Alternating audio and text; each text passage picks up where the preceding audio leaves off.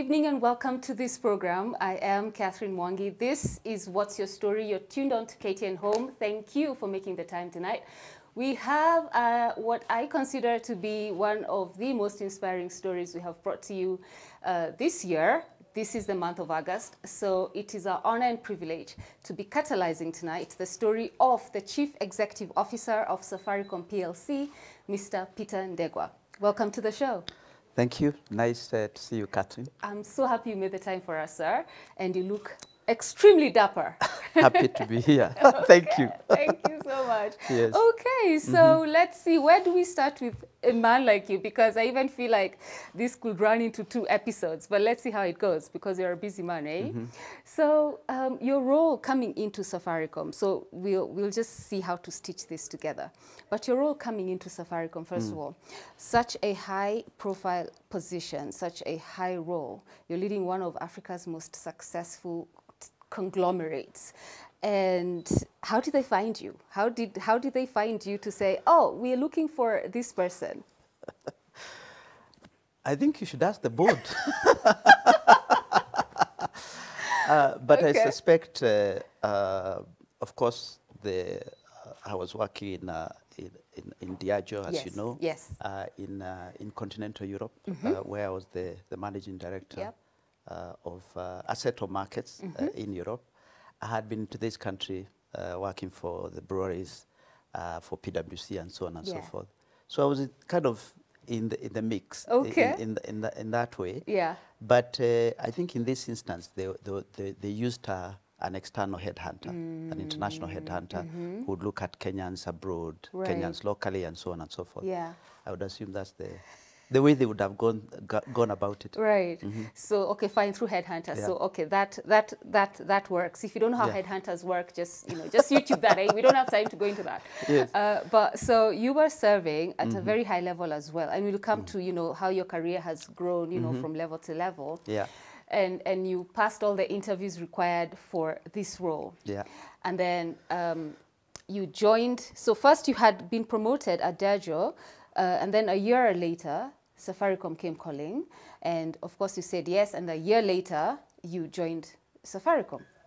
Um, when you walked into this position, the first day, uh, you walked into the Safaricom house. I think that's what you call the building, right? Yes. What- HQ1. oh, oh, HQ1, eh? yes, yes. So is that two and three? Yes, there is two Oh. and three. Yeah, yeah, yeah. I'm getting to We are a large company. Yeah. Yeah. Okay. Six okay. 6,000 people. Six thousand. That's correct. Whoo, okay. It's amazing. So the first day you walked in there, what was that feeling? Can you recall the feeling? So first of all, I'll, I'll disappoint you because I joined on the 1st of April 2020. In the middle of COVID, uh, lockdown had been declared. Uh, so I was actually on Zoom uh, talking to my team. And um, so my, my actual first experience uh, was after, uh, after COVID uh, restrictions were, uh, were Ah, actually lifted. loosened Yes. or, or, or, li- or lifted. Yes. Uh, and I, did, I didn't see some of my team members until two, three months in. Uh, because, of course, I had to go through my induction online. Uh, of course, I knew lots of uh, my, um, my team. Yeah. Uh, but physically, I met uh, some of them three, uh, two to three months in. Wow. So quite different from Yeah, how it has different. been, right? So Yes. was that difficult getting to know people virtually? It was. It was. Uh, you, you, it's already, uh, you know, when you're managing transitions and uh, job uh, movements like this ones are, are major transitions in Yeah. life. Uh, so you want to be physically present Yeah. together. You know, doing this interview Yeah. face to face is very different from doing it uh, over the phone. Yeah. Um, but uh, you have to adapt. Uh, if there's a crisis, you have you have to adapt. Luckily for me, I had worked in Europe for quite a while. I was always used to uh, interacting with some of my team members uh, on Zoom. Uh, Okay. because I was looking for uh, after a region, uh, and although I used to visit uh, some of those markets uh, to do uh, in-depth market visits, uh, most of the meetings were actually online. But I, I realized my team struggled with it uh, because Hmm. everyone uh, was used to walking along the corridors, you know, seeing Yeah. how people are feeling. Yeah. But um, like everyone else, we had to adjust uh, and adapt. the, one of the benefits actually of uh, joining during COVID is we were meeting every day uh, because we had to support the country, uh, we had to keep the country connected, uh, we had to expand network uh, at home. Uh, on mobile, Oh, wow. uh, so there was a lot that we were interacting Yeah. uh, just to resolve, to um, to to ensure that things went quickly. Yeah. And also we were supporting the government with a care center. Yes. Uh, so, you know, all these health calls, people calling in to say, how, how what do I do with this COVID stuff? Hmm. So um, it was, it wa- in a way, Mm-hmm. in, a, in a weird way, it, it also enabled Hmm. the, the actual uh, onboarding to be quicker. Yes. Uh, because uh, during a crisis, people get to, to the bottom of issues rather than kind of of taking the you day. through the, the politics of the day yeah, Yes, and what you want to hear. which is Yeah. which is one of the things one has Yeah. to be conscious of in, in corporate life. Absolutely. So I see what you mean because then. Yeah. it was there was a national well there was a global crisis, not even just national crisis, and then your company being what it, what it is in this region, especially in this country, all the focus and the concentration Mm. Yeah. is there. So the people have no room for a lot of time wasting conversations. It's work, work, work. And then finally, three, four months later, you had to meet them. But just let me take you back a bit to you finally got the letter that says you've been appointed as Yeah. the CEO of Yeah. Safaricom PLC. Yeah. And how did you then, you know, um, prepare emotionally, spiritually, mentally uh, for this role? So I had been on secondment uh, in Diageo. So Mm-hmm. I started uh, my Diageo career with East Africa Breweries, and we can talk about that Yes. i- i- uh, Yeah, separately. we'll come there, yes. Uh, went into West Africa for seven years. Mm-hmm. I had been in Europe for about two years. So I knew at one point I will need to return to Kenya. Uh, Kenya is my home country. Yeah. Uh, and of course, you kind of think, what type of roles would I would, I would I uh, go into? And I'd already been very senior in Diageo. Yes. So Safaricom was probably the only one of the only companies, or a number of companies that I would have been able to join Yeah. uh, because my next role would have been leading a, even a bigger region. Yes.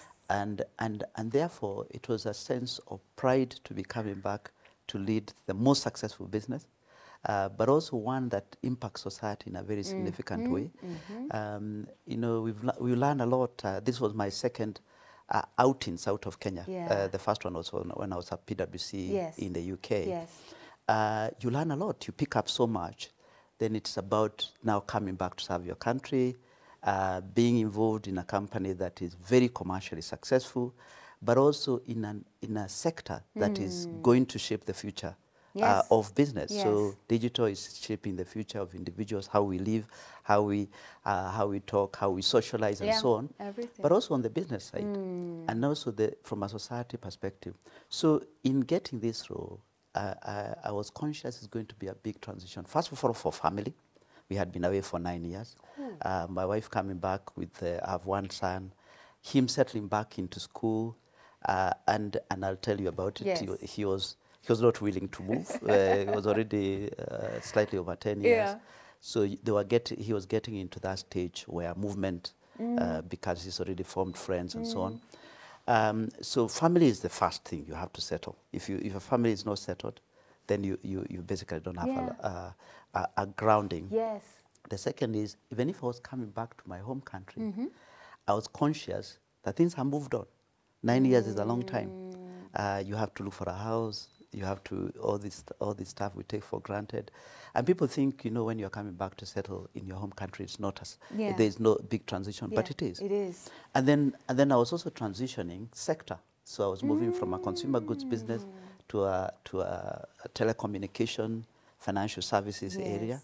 Uh, so, so that was it.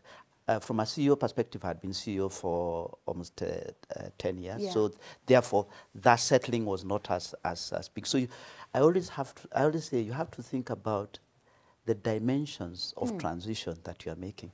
So in that way, it was family, it was country, it was sector, Mm-hmm. and therefore had to consciously think about that. But also emotionally, Yes. this is a law that uh, you're on the grid all the time, if I may use that term. Yes. Uh, everyone wants to, if you, if you think about our football managers, Mm-hmm. everyone wants to tell you which team to, to, to, to line up, uh, Yeah. who should be your substitute, Yeah. and so on and Yeah. so forth. So how you manage the public perception is also important. Luckily for me, Yeah. COVID showed up. so there was a, a, a bit of uh, cover Yes. for me to settle in without a lot of attention, uh, which, was, which was helpful. But uh, in a way, um, it is a big responsibility. Uh, it is, uh, you are accountable for a large business. You are accountable for big decisions that impact the country Yes. and uh, everyday life. You know, we have 32 million M-Pesa customers, uh, close to 40 million GSM customers. So every adult Yeah. uh, interacts with one of our products or brands Yes. every day, Every day. every day.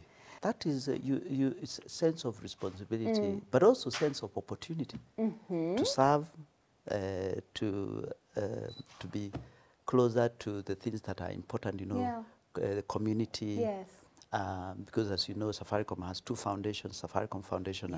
and, and M-Pesa. But even if you leave aside the foundations, which yeah. is a lot of work we do with Yeah. community, the actual commercial impact you have on people's daily lives and businesses is material, Yeah. uh, significant. But also shaping big agenda. Uh, so whether that's COVID in the way that we supported government and worked with Kenya to keep it connected, Mm. whether it is uh, stuff like drought, which I have been involved and I was chair, Yeah. I have been chair of the drought steering committee. Yeah. Whether it is uh, digitization, you know, we were involved and actually led as part of a consortium of, uh, of providers with government on the Hustler Fund Mm-hmm. uh, launch. So, so generally you can't avoid being on the grid. No. Um, so we'll talk about social media and Mm-hmm. so on, and people will have views about how you are managing, Mm-hmm. but you have to filter that in the Mm. context of what you want to do. Yes, what your assignment and purpose Yeah, is at that time. And you know Yeah. something else, uh, I've just remembered, um, there was lots of excitement uh, with your joining Safaricom because you're the first Kenyan at that position. So That's everyone was like, who? Who is this Kenyan? I mean, will they make it? Why, why haven't they gone for someone from the West? Yes. Which Kenyan? And then, you know, yes. people are, you know, throwing around a few names, Yes. local names that we are exposed to. But they're like, "Eh, who's Peter? So who's Peter? Yeah. So of course you knew that was happening. Yes.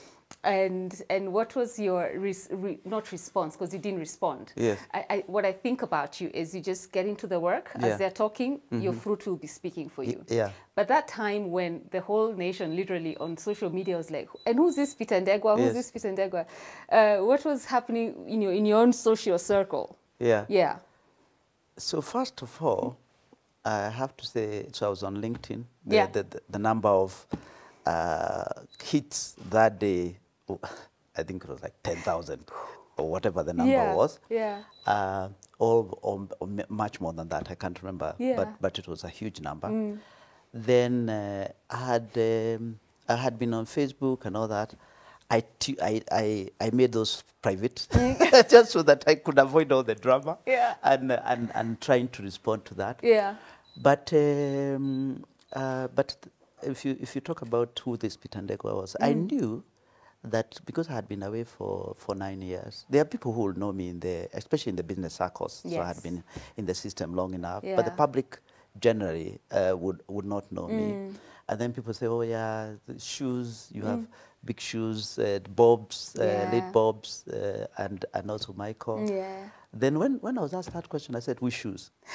because I said, look, this is not about the leaders, and I, I really huge respect for the leaders who had been running Safaricom for a long time. You always have to respect what you find, and uh, but you have to shape the future you want to create. Yes, yes. And uh, so I said, I'm going to be Peter Ndegwa. Uh, this is my background. People are surprised. And even you used, Catherine, you said local versus uh, Yes. uh, for, foreign. Um, but as kind of Kenyan, uh, grown up here, uh, schooled here, uh, went through a career journey uh, that uh, we, we can talk about. Yes. But really returning back uh, to utilize what I've learned. Uh, and international exposure is a Yeah. very important component of being able to lead in a very wide way. Yes. Um, ability to understand uh, complexity uh, because this business is very complex. Yeah. The industry is complex. The interactions with stakeholders is complex. But in terms of what was happening, so of course I had to, re- to realize that my family now will become public. Uh, I remember that uh, one of the first pictures that showed up uh, on Nation was my wife's uh, in one of the uh, one of the pictures she had Yeah. been taken. Luckily, it was a very nice picture. Thank God. And, uh, and because I, for some reason, they, they- because they had shut my some of my social media, Yes. they couldn't find. So they went to my wife's one. Oh my And goodness. um, and I think so. So they found a few pictures that that's the one that they put put on the as headline. yeah. Um, and I think she had written uh, something about about acknowledging and recognizing and uh, congratulating me on this role. That's what showed up in the newspapers. Yeah. So in a way, at a social level, I'm generally uh, not very high pub- highly public. Um, so I try to manage it that way. But eventually, I had to also talk to the media, Yes. which which was, you know, you have to be. I've always been very confident about Yeah. what I am about, Yeah. what I stand for, my values, and um, and also been very successful as a senior leader for a very long time Yes. and um, and uh, quite grounded. So therefore, uh, that's what I was uh, going to to focus on, Yes. rather than the, the drama and the hype and, Yeah, the and everything. around. Yes, but also acknowledging that the public has a right to know who you are That's it. and connecting and saying, look, this is the person I am. Yeah. Yeah. And uh, I remember, I think my first interview with, uh, I think it was with one of the uh, media houses, Okay. and they asked me, "Who is this Peter Ndegwa?" So, so I had to, of course, talk talk about it. Yeah. Yes. Okay, I like something you said there about um, so anyone, everyone, you know, most people asking, uh, you're going in to fill some really huge shoes Yeah. uh, of, you know, the late Bob and, and, and Michael, who was the interim at that Mm-hmm. time. And, and I like what you said there, whose shoes? Yes. You know, because you're, you're coming in with your shoes, Mm-hmm. but that does not mean that you don't pay homage to the ones that you found Yeah. but then you're building your own path. Mm-hmm. So, in doing that, and also, um, you know, now finding the team at Safaricom. So you, of course, you have management, and you just said to me you have six thousand uh, members of staff. Yes. Ooh. Yes. So while still respecting the work that you found had been established Mm. by the previous management team and the staff there, how then do you bring in your own vision into running this business? How do you how do you how do you make a mark? Do you even think of making a mark at the start? oh, Yes, I, I think th- so, so. First of all, the when you when you're getting through and being interviewed, you you'll understand what the company is about. So I was uh, quite conscious. The this company, uh, the stature of Safaricom, uh, what it had been able to deliver for this country Yeah. has been very significant. Yes. The impact on society. So it's almost first of all understanding uh, the heritage of the company and what it has been uh, and what you are inheriting. That's the first thing that you have to do. Yeah. And, I, and I, I needed to be. And then secondly, understanding the path or the future that the board was thinking about. And uh, because stakeholders, you know, uh, so you have the government as one of the stakeholders with 35% stake. You have uh, Vodafone, uh, who owns about 40%, and you have the public. Right. So there are institutional uh, expectations Yes. of those stakeholders. Yeah. Then there's the public expectations. Mm-hmm. Um, but at the end of the day, you also have a business to run. Yeah. Uh, and uh, I had been CEO since 2011. Mm-hmm. So I knew what a CEO role is about. Uh, you come in, you find out what's going on. Uh, you, you, you assess your team, Yeah. you assess the, where the current strategy, what is happening, then you start uh, charting the, the, the, the, path for the future. Right. And secondly, remember, I also came in when there was a crisis. Yes. So it is also about utilizing the capacity of the company to deal and solve the crisis. And part of that is also understanding what the company is about.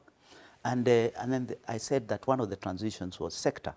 So it's also starting to research, uh, talk to people who understand this sector, which is the telecommunication sector, and, and understanding the ingredients of mm-hmm. success mm-hmm. and how you broaden those ingredients of success. And then that allows you, because you can't start shaping the future in on day one, you need to give yourself at least six months to learn the company, ah. uh, to, uh, to understand the culture, Yeah. to understand the team and the strengths the company has, hmm. and its purpose. Mm. Purpose of transforming lives as a core ingredient Yeah. of what Safaricom is. Yeah. And then now start to say, what are the opportunities for the future? What's the stage of this company in terms of development, and where do we take it now into the future? I've always, I had always been known for transforming companies, Okay. challenging status quo, really thinking uh, and creating uh, a path for the future. So I was conscious, even as we dealt with the crisis, we had to start to shape uh, the future. So in 2020, during the crisis, we shaped the 2025 vision for the company, uh, which is to be a purpose-led technology company. That's when we Yes. we broadened what we wanted to be. Yeah. So beyond being a telecom, uh, which has been very successful, Yes. and also a successful mobile money business, how do we broaden it so that we use uh, technology to shape how people uh, get services, how you digitize the, the both the public but also private sector, uh, but also how you we broaden what we are able to deliver, uh, both for our consumers but also business, including government. Uh, and uh, I know mobile, I mean, uh, M-Pesa has always been very successful. People are saying, so how do you, how do you make it more successful? And Yeah. I kind of said, we are only in, primarily in payments. Uh, we had also gone into credit. We can broaden credit in a significant way. You can really explode payments because a lot of our, bus- our country is still cash. You've seen government really going into cashless. Um, we can go into wealth, into savings, into insurance. So the financial services spectrum, and in my early life, when I worked for, uh, for PwC, I did a lot of work in financial services. Yes. The financial services spectrum, and when you look at the penetration of financial services, so although inclusion had, im- had improved, financial security, financial health of people, insurance penetration is only 2% in this country. Uh, savings is still very low. People still buy land, and so people don't save in liquid assets, which are very important. Uh, so, so therefore, it is also saying, how do we broaden what um, the kind of product set that you that we uh, that we have? How do we broaden it also to enterprise, small business, government, but also how do we use digital and technology to enable experience and user journeys to be right? Like on the on the Hustler Fund, it mm-hmm. took us seven weeks. So we have to say, if you are transitioning from a telecom company, how do you create an environment where you can be a technology company? We went from traditional way of running business in departments to agile. So creating small groups of teams that combine commercial and technology teams. But actually, if you look at the best, the most successful uh, technology companies in the world, they, they, they, they run in agile, where you run in what is called sprints. Two-week sprints to say, if there's an issue like, say, uh, you want accessible credit, if I use Hustler Fund as an example, you have a prototype and a, a minimum viable product within a, a month at most. You have the technology solution, you have the user journeys defined, you have the, uh, the kind of monetization way, the way you'll kind of make money or, Yeah. or, or, or the, how it will cost you. Yeah. And then because you are combined commercial and technical skills, you don't have to go across departments and coordinate that. And they come up with the solutions and, and then they keep improving the solutions until it is, it is launched. And then even after launch, you keep getting uh, feedback from customers and, and then you keep improving it and uh, until it, becomes a, a perfect solution.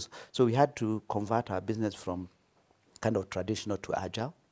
And then that allowed us to then now start to go to market quicker, to be more customer centric, uh, to pay attention to the use cases that are more, uh, that, that will make a difference, both on the consumer and also enterprise side. We have had the secrets of Safaricom success, so- we have to take a short commercial break No problem. as you take your sugarless you. black tea. so, so we'll be back after the break, and of course, I know we've dealt with Safaricom and the secrets that uh, you know uh, make this conglomerate successful. So, as a business owner watching that, as a leader in your own company, I, I know you're gleaning because I for sure am. I mean, especially that um, that agile, those agile teams, the tribes, the agile tribes. That's that's woo. But we go for a break. Right back, we come back with Peter's story of what kind of a young man was he growing up? Um, what were his passions? What were his dreams? Is he living his dream? And of course, there's that one big question I have to ask. What's on the other side of the opulence, the abundance, the big name, the big title? So all of that right after the break.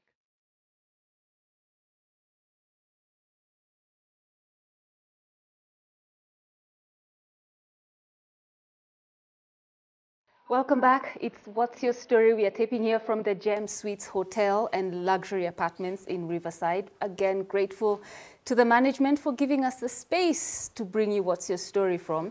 Tonight, an invigorating conversation. Remember I said that to you at the start of the show. This was going to be invigorating. So business people, you've had your day in paradise, so to speak. We are having a conversation with the Chief Executive Officer of Safaricom PLC. This is Africa's largest. Your competition will disagree, but no, we are, we are saying it. yeah, tell. yeah, Arucha, it yeah. is. It is this. It is the most profitable so far in Africa, and I don't see that going changing anytime soon. But uh, a conversation with the CEO, Mr. Peter Ndegwa. Thank you so much again for availing time during such a busy week. So you've just shared a very core element of what has made the business successful. When I hear no longer are you working through departments, but just small teams, you call them what, sprints? Uh, agile. Agile. Agile teams. Agile teams. So like the like payments. Yes. So if you think about financial services like M-Pesa, Yeah. you'd have a payments tribe. These guys are only going to focus on how do we enable payments for consumers, but also businesses to come alive. Right. Then there'll be probably a credit. Uh, so so credit propositions, new products, uh, or, or or actually digital solutions. Uh, if you think about uh, the GSM side, which is the connectivity side, you'll have a, a mobile data, a fixed business, which is the home side, an enterprise. On the enterprise side, you might have Internet of Things and IoT. Uh, sorry, Internet of Things and ICT as a product tribe. So those those tribes, they are called Tribes, tribes, in an tribes. agile in an agile world. And then within those, you have specific roles that people are playing. So you have a product person, you have a, a, a, a, a, Commercial. a, a commercial person. Uh, but what, what the, everyone in that uh, team brings is craft. It could be uh, an um, user journey expert. Yeah, it could be a product uh, development expert. Uh, it could be a risk expert on the cyber side. Yeah. But they all bring uh, coherence in the way that products are created from concept to launch. Yes. And, uh, and you don't have to then go in and, uh, and talk about uh, bringing other teams. And then, the, and, the, and then you work also with the providers uh, and partners in the same agile way. Um, so that, that has been one of the biggest change. Okay. Okay. Um, Then, of course, there are other areas, especially around culture, where we have. So we've we've paid. To, so we there's something we call Safaricom Spirit. Uh-huh. So there are four elements uh, of what. Uh, so I talked I talked about purpose of Safaricom, which is transform lives. But there are four elements of our spirit. One is purpose. So we've always been about going beyond commercial objectives to impact society. So even in creating the future, we have to say, how do we improve society? The second is innovation. We've always been an innovative company. Yeah. So those two are very strong, and I was going to build on that. Yes. The, the, the other two, which is areas I felt uh, could be improved, is customer centric. Um, we, although Safaricom is large, uh, we still had a lot of feedback. Our data was uh, is expensive. Uh, our products are more complicated. So customer centric. In fact, our first mission uh, or our first year objective was how do we how do we create a, a customer obsessed digital first organization as the foundation for now building to a purpose-led technology company.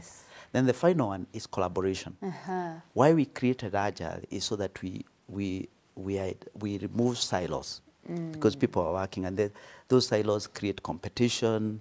Uh, but the customer doesn't doesn't uh, understand those silos. Yeah. They, they know about Safaricom. Yeah. And um, so so the biggest areas of, of, of, of shifts on our culture were the customer centricity and the collaboration which we went through uh, on the agile path. When you combine it with an innovation, an innovation machine, which Safaricom is, and a purpose-driven organization, then you create, you kind of start to build Yeah. all the four elements in a way that is more sustainable and gets closer to, our, to our vision. Wow, so you've just shared the secret of Safaricom success, basically, and, and in the same breath Yes. said to us, there's no competition. You really do not have competition. So the only thing you have to do is innovate. Um, what? No, I didn't say there is no, competition. No, I, that's what I have. what, what I said is there is no competitions amongst departments. Yes. So, so previously, the consumer business or everyone wants to shine when you are in, you have departments, the silos. Yeah. But when you now go into agile, you have teams that want to serve the customer and the society. So there is less internal competition. I I, didn't that. say. I got that. I didn't say there is no competition externally. but Peter, who is your competition anyway? Tell me. Uh, you see, Uh-huh. you see, Catherine, the the way companies fall over Mm-hmm. is you become large, you get uh, a bit sleepy, uh, you get uh, complacent Right. because you don't think there's competition. Mm-hmm. But competition may not be your traditional. So of course we have traditional competitors. Airtel is still we uh, our customer share is still is two thirds. So a third of the uh, of the customers are with Airtel and Telkom Kenya. Okay. So that's number one. Uh, the second is the on the fintech side, which is the mobile money side. If you if you think about financial services as the sphere that we are we, we are we are playing in, there's traditional competitors, which most of the time we use them as partners. Yes. Uh, like the banks, Ah. because we, we use them for credit. We'll go to insurance for for the wealth management uh, pieces that we are doing and the insurance products. Because so we have we have decided to work with them not as competitors but as partners. But a fintech uh, area uh, in a digital world, competition can come from any, uh, anywhere. You have all these digital lenders. Uh, you have suppliers of uh, home home connections that you probably don't know. I don't know their names, Catherine. So so uh, small competitors uh, start attacking you from small uh, the edges Right. uh, of of uh, it's it's like if if, if you're a- if you're a big elephant, you don't know what is eating you from where. So it is very important that we. That's why we introduce agile. That we, although we are big, we are still agile and go to market quicker. Yeah. So that we are always ahead. Yeah. So, for example, like during COVID, we accelerated our rollout of 4G everywhere. Mm-hmm. Yeah, but we are conscious that even if we roll out 4G, which is now 97%, we don't have handsets. People, st- uh, a third, two thirds of the people still don't have 4G handsets. Mm. So you can have the connectivity, but you still have a mulika mwizi. yeah. So that's the reason why we are going for uh, uh, products like Lipa Mdogo Mdogo, uh, pay as you go device financing. Uh, we are involved with the local assembly of uh, 4G phones. So, so that so there, in, in any in any business, however large it is, there is always opportunity to give more service, better service. Uh, and actually, talking about better service, if you looked at what we, what we, how we measure whether customers love us, is Net Promoter Score. At the time when I came into, we were number three, Okay. although we are the largest. Yeah. So we had to say what's the pathway to number one. Uh-huh. Uh, first of all, the, the, our price point, we were premium price, so we've reduced our data price by 70% Okay. in the past three years. Yeah. We've reduced our voice uh, price by around 45%. So we have actually been, although we've been growing, people say, oh, the business has not been growing massively. We have actually tripled the amount of data that is used in the past three years, mobile data. We have doubled, we have doubled the value of transactions that go through M-Pesa. Mm-hmm. We've doubled the agent base, you know, the mobile, the, mm-hmm. the M-Pesa base. We've tripled the number of Lipa na M-Pesa merchants in the past three years. So although that doesn't show up in the revenue growth because we've reduced price by more than mm. 50%. Yeah. Hmm. So that, but you have a much healthier business, uh, much more digitized Yeah. uh, ecosystem that you can leverage on. So if you are building on that and you bring in savings products or insurance products or other products, home products and so on, you're adding onto our already a strong base. If I give you an example, on M-Pesa, before COVID, uh, just around the time I came, Yeah. um, the number of what we call uh, chargeable transactions, so customers who will uh, pay for a transaction, Right. was 9 to 10 per customer per month. Okay. Today is 26. in three years only. Yeah. So that, so the actual ecosystem and business is very healthy. And now you have the, a broader, uh, more healthier business to build to build on. So as you as we think about, so that's why ev- even as we were talking about like say Hustler Fund, we can. Uh, the reason why we were able to do it very quickly, we already had a credit ecosystem, more what we call multi-tenant. So we can just add Hustler on the side of other credit propositions that are digital in nature.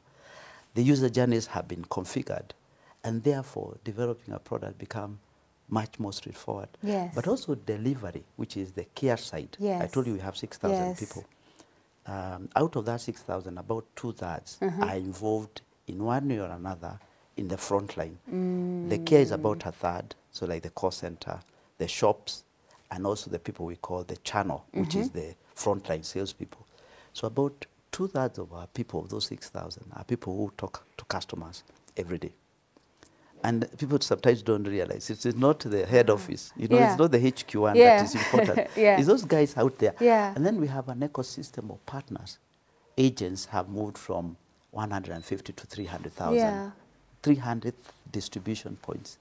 Um, Lipa na M-Pesa merchants are moved from 170 to 600,000.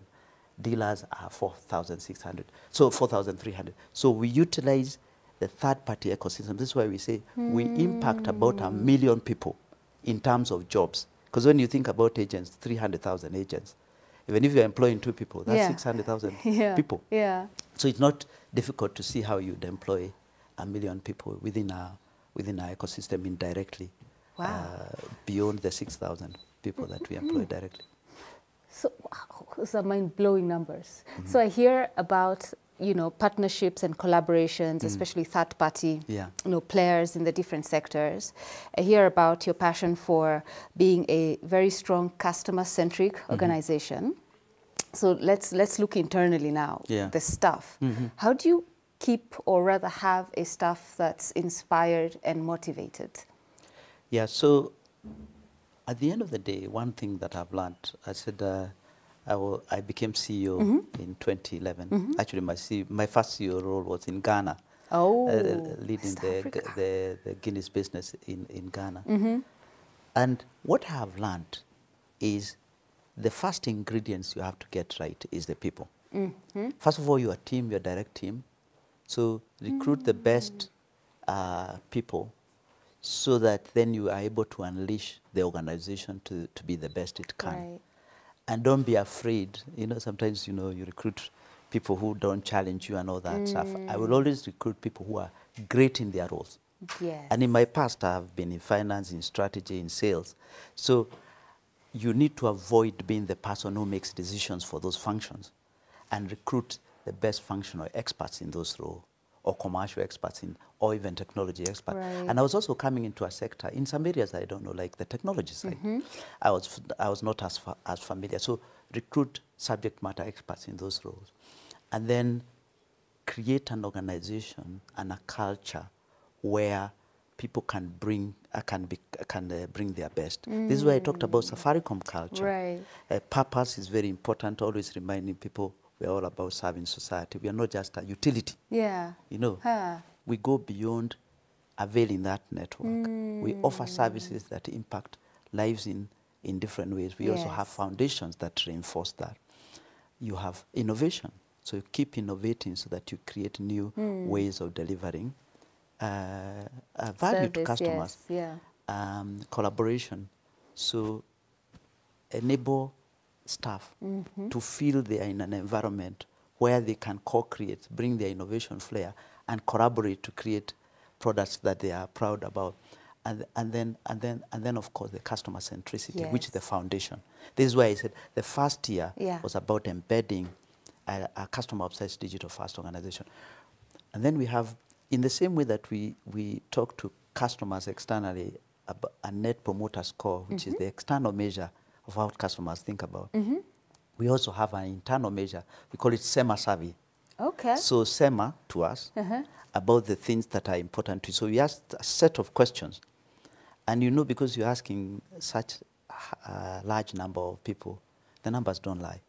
So you'll mm. know, wow. you know whether people are connecting to your, to your, to your purpose, which is transforming lives, Yes.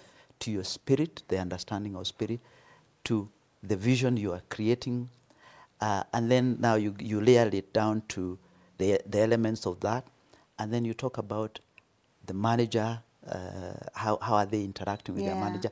Would they promote or would they recommend their manager to another person? So the manager score, a leadership index score. Some, uh, we measure things like psychological safety. Are you allowed to be yourself? And uh, uh, we also measure things like uh, how customer centric we are and all those things. So the customer, I mean, the, and we take the SEMA service serious, and it's even reviewed at the board level. So if you get very poor scores, that's not a good thing from a performance perspective, even for the CEO. Yeah. and, um, and then we also know which departments then are leading their teams better, which are not. Uh, which areas should we Focus. Yes, and then we, we have a we have a list of the things that uh, have not uh, that have scored low, and then we, we work on it. But it's also about uh, inspiring the organization for the people to feel we have a future. It's about creating a sense of this future, this purpose, and uh, and connecting. Actually, the, the highest the highest item, the, the the the highest rated item is uh, they understand the purpose of the organization. Uh, they're inspired by the vision Yeah. and and the sense of mission uh, of the organization. Right. And um, and then the the rest are now d- depending on uh, so like my direct reports will also give me feedback. So I'll have a manager score. Yeah, and uh, and and it is not uh, you see. It's, it's not just whether you are very nice to people. Yeah. It's whether you bring the best out of them. Out of them. Yeah. So it's not. It is. It is. It is about how you lead. So the leadership aspect are very important. And uh, and and and if if you don't cultivate and get real feedback coming back, Yeah. it will show up in different ways in performance. Uh, issues in the, the way we deliver services Yeah. to customers Yeah. because uh, our people are our best ambassadors Yes. and uh, we have we have we have proud people in Safaricom, It's but we also have to ensure they are also customer centric, Yes. uh, innovative, you know all those all those elements. The agile journey Yeah. was not easy. Yeah. It wasn't easy Okay. because people don't like change. Yeah. This is a successful organization. Why you change it? Mm. Why bother? Mm, mm. If it's not broken, yes, if, fix if it's not broken, then kind of say, look, it's important to change in peacetime rather than waiting for when There's like, war. There's war. Like I remember we started a program we were calling productivity. Mm-hmm. Then people say, oh yeah, Peter is reducing costs. and I said, if you think about costs, if we have a lot of waste, who pays for that waste? Customers. So if we reduce costs, we don't want more profit. We want to reduce price. That's why we have been able to, to reduce prices. And but people kind of relate with productivity from a cost perspective. But now this year is when they are saying, actually now we see, because this year the cost uh, increase in because of uh, energy costs, Yeah. diesel, currency Yeah. if if we if we hadn't started the journey two three years ago, we would have been forced to make decisions that are more uh, uh, unpalatable. So it's good to actually make tough decisions in peacetime when you are doing well, Yes. uh, because when uh, uh, the, it is easier to digest Hmm. the bad news eh? in, in, in in good times. Yes. it's it's more difficult when uh, when when life is tough. Such So- brilliance. Such brilliance. Large family, Okay. uh, second born of nine children. Oh wow. wow. So nine, uh, so so large family. In fact, I asked my mom, "How did you uh, cope?" uh, which compared with my one child, life is a long race. It's a marathon. It's not. Uh, it's not a sprint. So there will be ups and downs.